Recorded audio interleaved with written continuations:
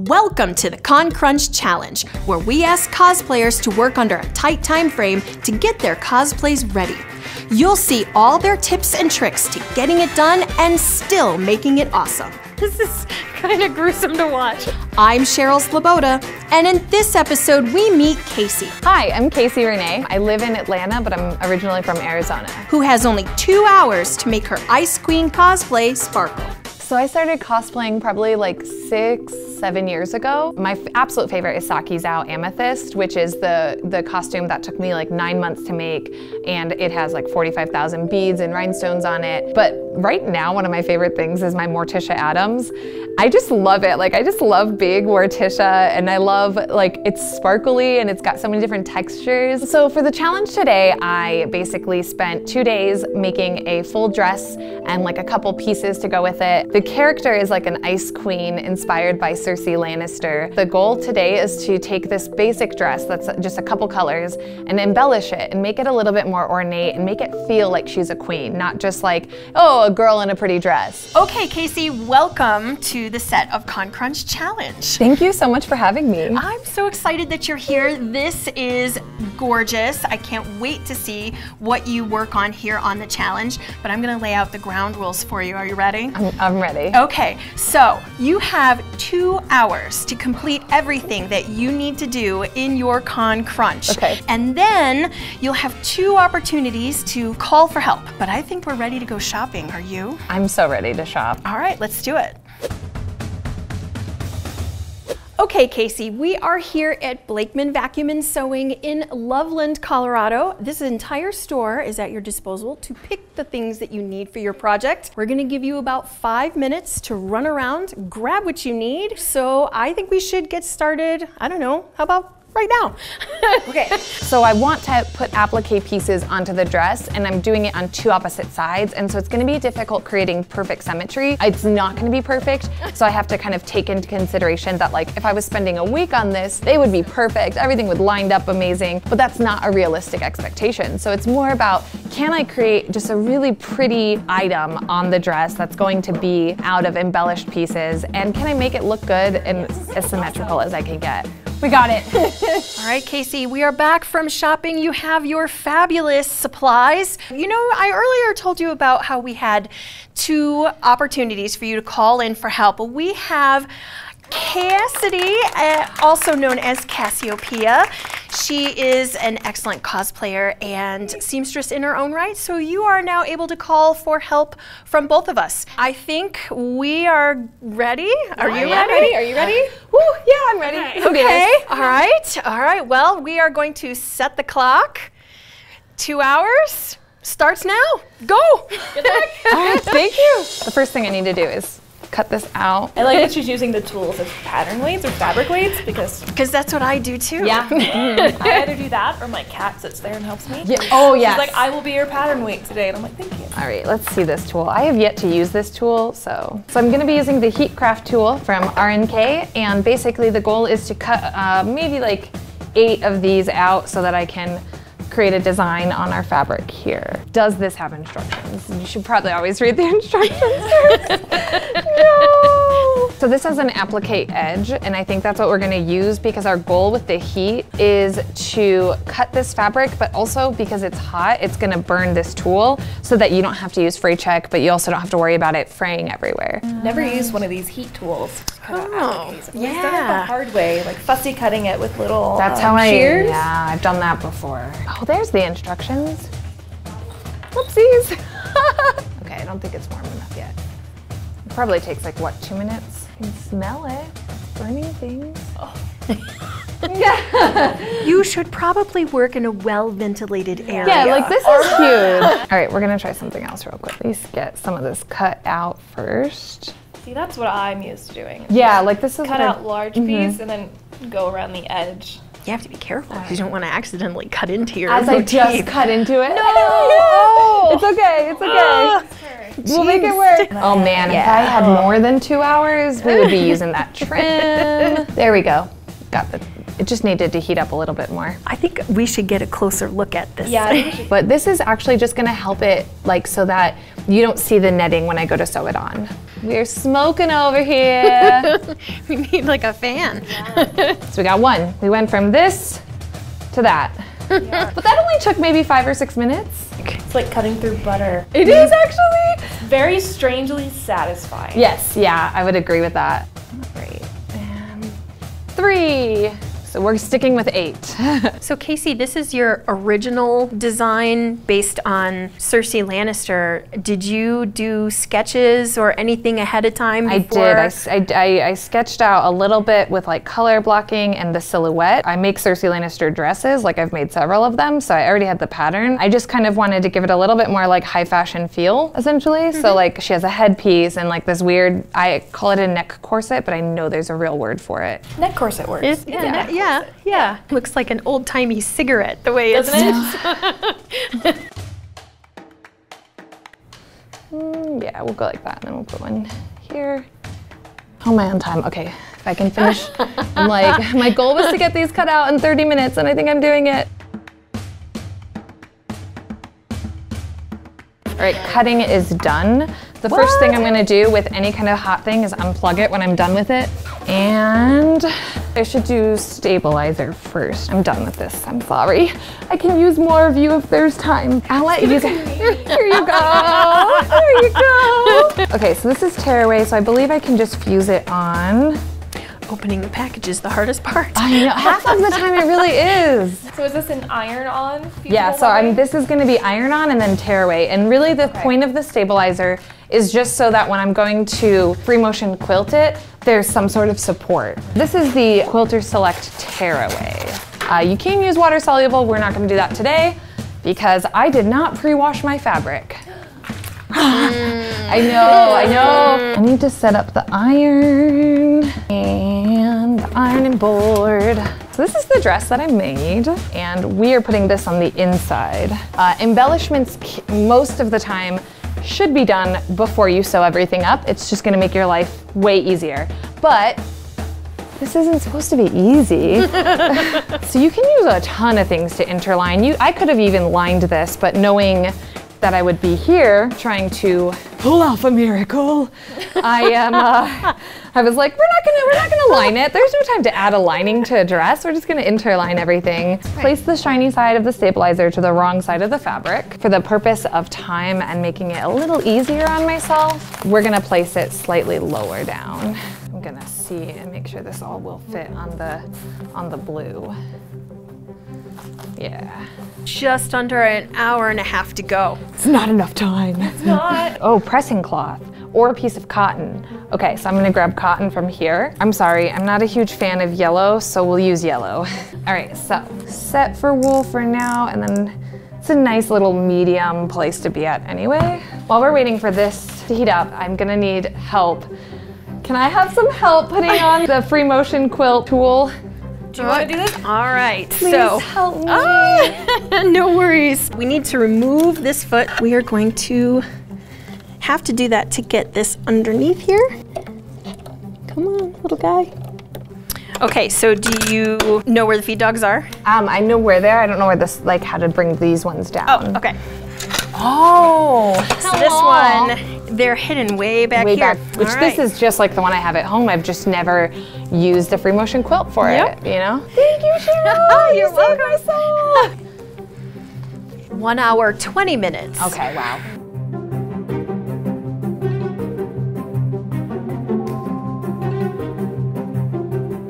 I realized There after is, adding yes. stabilizer, this might be slightly tricky to pull this up.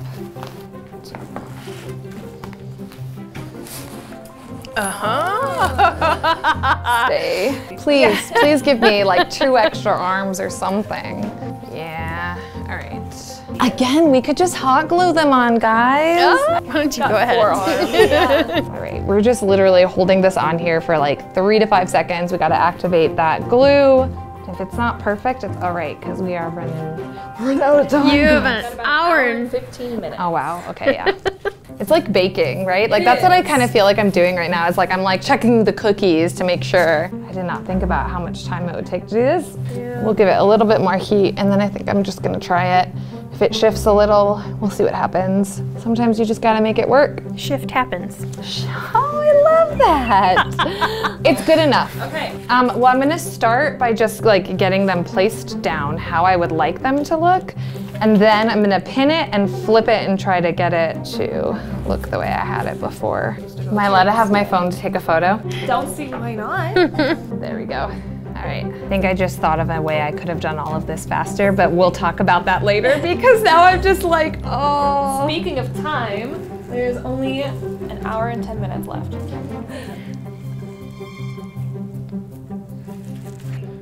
Okay. Like we say, opening packages. Okay, sewing standing up. Here's my first attempt. So now I gotta add a new needle that will work with my fabric. This is the part where it takes me 15 minutes to thread. there we go. I'm gonna take a test piece. I know it's not my fabric, but I gotta test it somehow, make sure that the tension's okay. I would love that stool. Is there a stool I can use? Thank you. This just might be a little bit easier for me. The thing about free motion is that there are no feed dogs to push the fabric through. So that's what you were pulling down earlier with the feed dog. Right. When you do free motion, you have to move the fabric. Interesting. It's still way loose. Man, is there another thing I'm supposed to, another setting I'm supposed to do to, for free motion? Free quilting, you don't have to put the foot down or anything. No, you do. Do you? Is the foot down?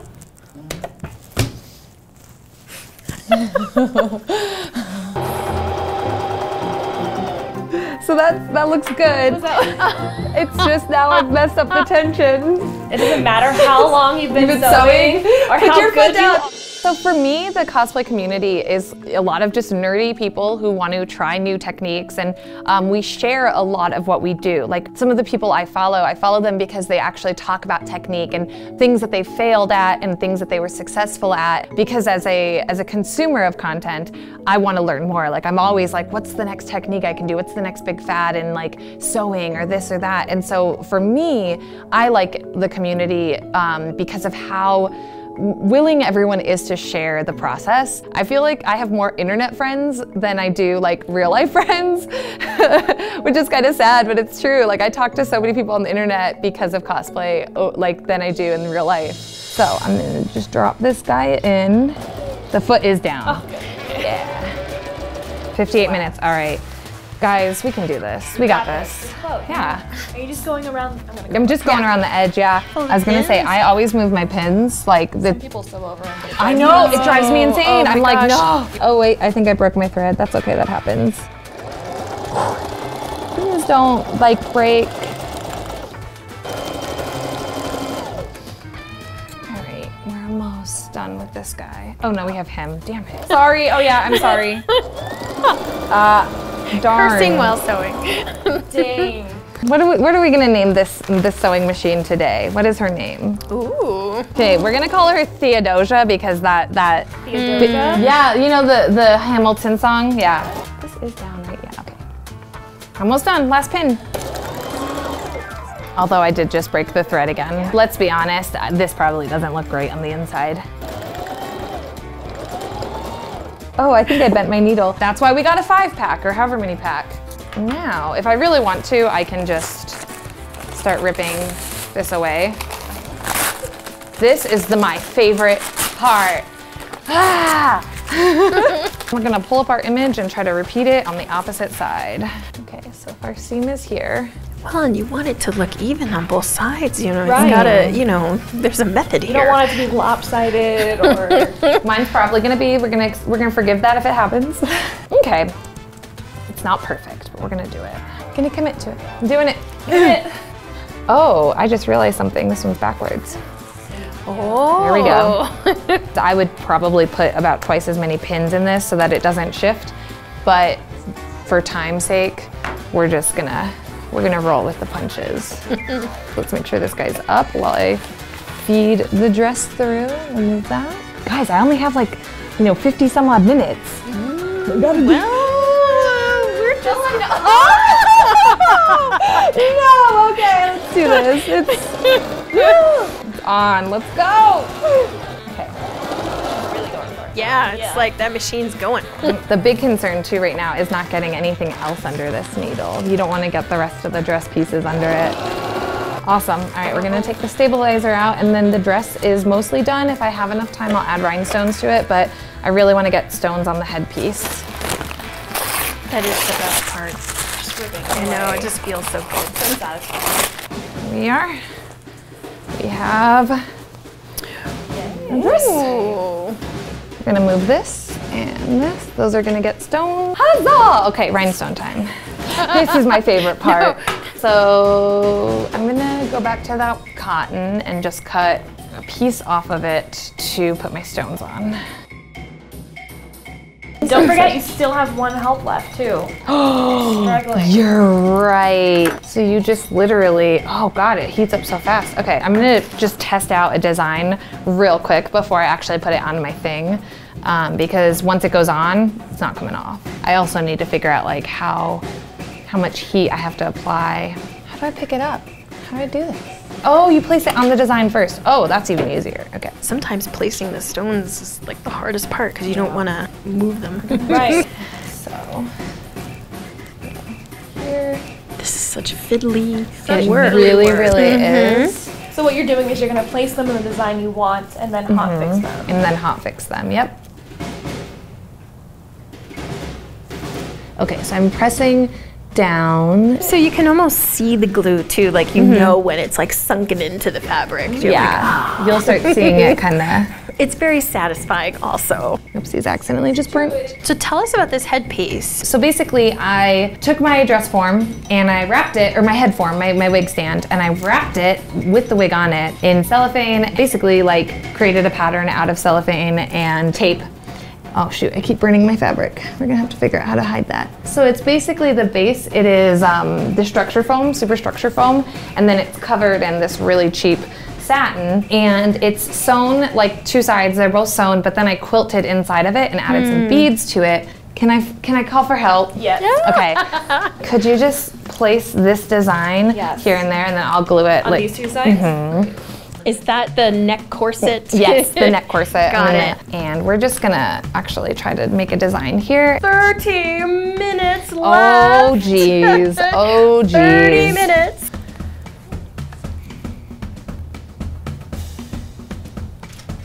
all right there's that oh man you're making my life so easy Okay, those are oh ready so sorry you. those are ready let's do Yeah. this all right thank you oh i just burned it it's fine no one's gonna care right you guys aren't gonna no one's gonna judge me if there's a little bit black on this I might have made myself a little bit more work than i needed oopsies I just feel like you could do this all day. oh i could do this all day like i have done this all day this is what wine stoning is for What? Stoning. All right, we're gonna put just a few at this front here, and then we're gonna move on to the neck piece. 15 Oh, minutes. oh my gosh, okay. I can put four more on this, and then I can move on to the Four neck more. piece. Four more. My hands are whole thing. shaking, like that is the thing, and they're getting a little sweaty, but I think I can hold off for Oh. 15 minutes. All right, I think, okay. No! Oh, it okay. fell off. It's okay. It's okay. Come back. All right, it's on. They're on. Those are done. Okay, that's done. We're just gonna call it done. I mean, I could just, I could do that all day. We're gonna call it done, and I want to just put a few more on the front. We're gonna lay this flat because it velcros. Oh, it's Velcro. What? How did we not see that before?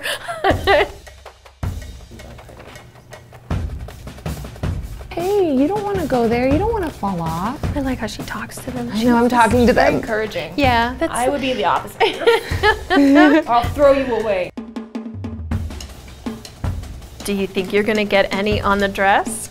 No, hmm? it's not happening. I would also like. I want this to have a nice cascade. I want to use some of these smaller ones. So we're under 10 minutes. I can't even. I'm not even gonna look back. I'm just gonna. I think the dress also has glitter in it, so I think it'll have enough sparkle.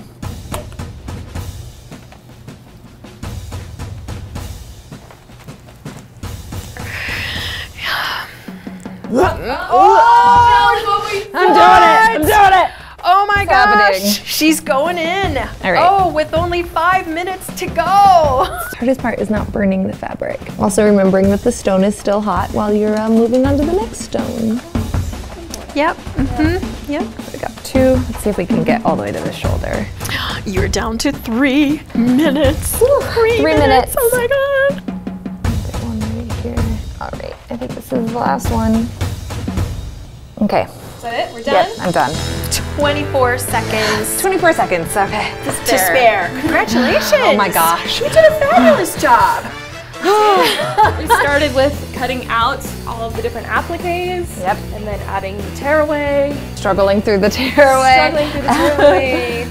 But you, Sewing, doing the free motion. yeah, you Yeah. learned all, all that free motion mm-hmm. on this machine, which is great. Casey Renee, you survived the Con Crunch challenge. Yay!